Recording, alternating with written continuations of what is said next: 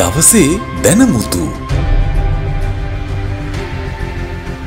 ලෝක ක්ෂය රෝග දිනය වර්ෂ එක්දහස් අටසි අසූ දෙක මාර්තු විසි හතුරදී ක්ෂය රෝගය ඇති කරන බැක්ටීරියාවක් වන මයික්‍රෝ බැක්ටීරියම් ටියවබ කිවලෝසිස් සොයා ගන්නා ලද අතර එය සිහි ගන්වමින් ලෝක ක්ෂය රෝග තිඩිය ලෙස සෑම වසරකම මාර්තු විසි හතර නම් කරන ලදී.